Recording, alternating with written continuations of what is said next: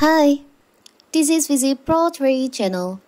In today's video, I will show you how to log in Messenger with Facebook account. Before we get started, don't forget to subscribe and turn on the notification to keep you updated about this channel. So, let's go! When trying to stay in touch with people, why not harness one of the most popular social media network on the planet, Facebook Messenger is a capable and easy to use app to chat with text, audio, or video. And if you've already got a Facebook account, you're basically already got it set up. And how to do it? It's simple. So first of all, of course, we have to open our uh, Messenger app. Now you get you can just enter your mobile number or your email. And here and also your password. After that, you can just tap on login.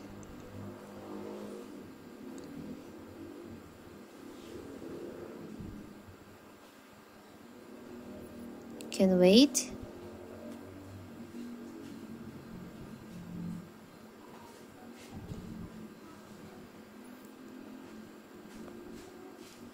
Now you can just tap on save